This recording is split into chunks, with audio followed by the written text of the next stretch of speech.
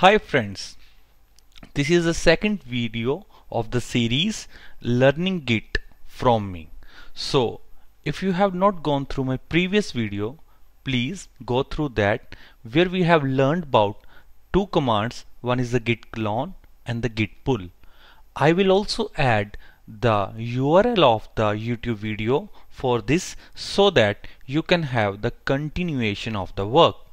Another thing to say to you, we, I will create the playlist of the Git so that you can watch the series step by step. Here is the glimpse of the last video which was understanding git clone and the git pull. Now I am also adding this document along with the description of the video so that you can also practice the things step by step. Everything is well documented with the proper steps and in the video we are learning through step by step. So first is git push. Now the question is why this command is very important. The git push is to push the changes from the local to the remote one. Now for example X number of people are working on the same project. Now at the end of the day everyone has did something they want to push the changes to the central which is called as the remote git repo now how to achieve that? Now let's see let's see our remote. It has only one file which is git learning git pull. And now what does this document says that create a new this is for a demo purpose. The real thing varies when you are in a real project. Now this says that create a new file in the local repository whose name is learn git push.txt let us go to the cloned one and see the two files which were present in the remote were also present there now let's create a file which is named as this so touch is a command to create a file bingo the file has been created. Now you can see that learn git push has been created in the local but when you again reflect back this has not been pushed here. The reason is that now we are in the local now we need to push the changes to the remote one. So we can see that what is a step 2 now whenever you have created something it means you are in the working area. It means the file is untracked it means the file is unstashed how would you know that? You will come to know when you git status. You will see this particular file in a red color which clearly demonstrates that this file is untracked. It means first of all you need to add the file to make it into a stage area that means to track it. So the first step that we are following is that as directed above use the git add because this particular the demonstration it clearly says that you need to add a command which is called as git add to make the untracked file into a tracked one. Now let's do as per as the documentation and the sync from the git. So they say that do this step git add the name of the file. Let's do that bingo. So when we do that uh, yes now let's see what is the git status. Now one thing you might know that or you see that the red color changes to the green color. What does this means? It means that this file has been staged one and which we, we can also say that now this file has come into a tracking stage we can also see the green color of the file. So which means that the file is in a tracked stage. Now use the git commit to commit the changes. Use the message along with the git commit. So what you have to do is that you need to apply a command which is called as git commit but with the appropriate message. For example we can apply git commit minus m now what should be the message? So pushing the file pushing the file. What is the name of that file? Learn git push from local to remote. This can be a good name of the message. When this is done a mod has been created with some index number which has some integer value. Now let's go back to the documentation. Now what happens if again you go to this file oh my god this file has not been reflected here. What is the reason behind that? You have not pushed the changes to the origin. If you put uh, git push origin and the branch so we are working on a main branch it will ask you for the username. You can type either the username or the email id for example i am typing my email id then it will look for the password. Please fill that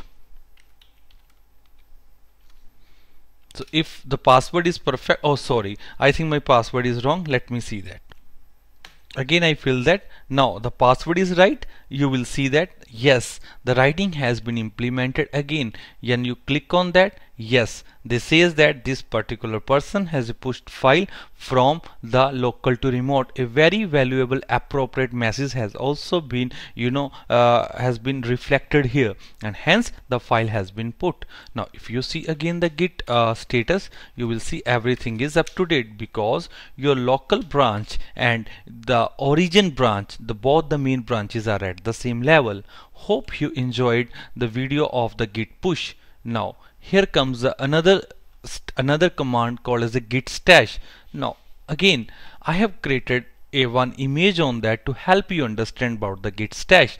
That is bringing back the work when needed. For example you're working on some project and you have written a bunch of a code but you still think that right now I don't need that but I need them in some specific time. Then what you do that? You just save that particular task in a stash and then when you need it you can push it back from the stash. Such like just uh, analogous to it just think about uh, pop and push. So this is same thing that we are doing it. We are putting something on a clipboard. When it is required we are bringing it back so what are the various steps for that? The first step is that we need to write whenever we did some work then write git stash save the name of the comment. So you can write any name so that when you are retrieving it you can understand that okay this was the name of a comment I have written while saving the work on a clipboard or a stash. Then after that check the git stash list then whatever the stash number you have uh, when it was saved it was saving with the stash number. You just have to write git stash apply the stash number. Then what? You will see that your work that has been recovered. Now it, it has become into untracked stage. Now you can track the file push the file as discussed in the previous one. Then what is the next step? You can see that stash list has the num the stash has been there in the stash list now what you need to do that you have to apply a statement called as git stash drop. So so the basic purpose of dropping the specific stash number is that uh, why to save that again in the stash list? So we can empty that clipboard if you want to clear all the stashes, you can apply a statement called as a git stash clear. Now let's do the work practically. So first of all, what was the first step? You you type something in a file, for example, learn gitpush.txt in the local clone repo, uh, clone repo, and uh, you can type the below code.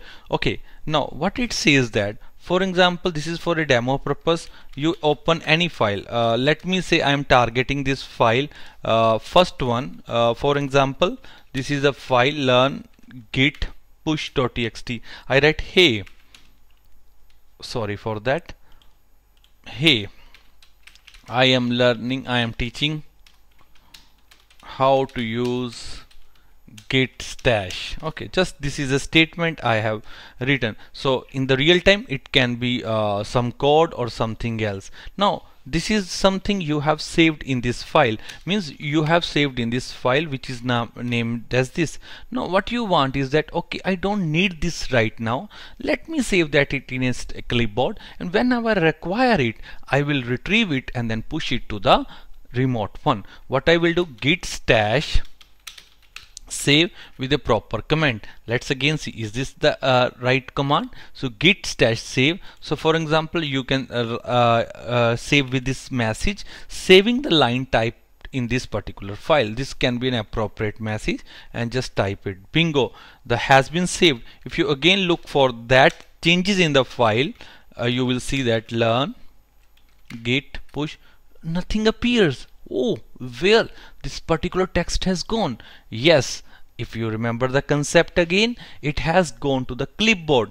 Now if I say git stash list so list perfect. You will see that okay this was a particular uh, you know message. I have typed it. This is a stash number. Now you can apply it whenever you needed it. So git stash apply and what is the command is git stash apply the number of that. So once you did it you see that uh, the stash has been applied and if you again open the file again open the file the same thing appears bingo. It has it means the stash has been applied. Now this file is in untrack stage. You can uh, you can add track it and then commit it and then push it to the origin. So stash is a very uh, you know useful command uh, when you want to save something in a clipboard and after some changes you want that things to come back and then push it again to the remote one. So again now if you see the git stash list one thing is that this stash has been present. You want to clear it. So git stash drop the stash number for example this is a stash number. You want to clear the stash uh, just like we say clearing the clipboard. Perfect. The stash has been cleared. Now if you say there is nothing on the stash list so if you want to clear all the number of stashes uh, that you have saved in the stash list you can apply git stash clear. But for this case since we have only one there is no need to apply that. I hope you like this video. Thanks for the patience to hear this video. Bye bye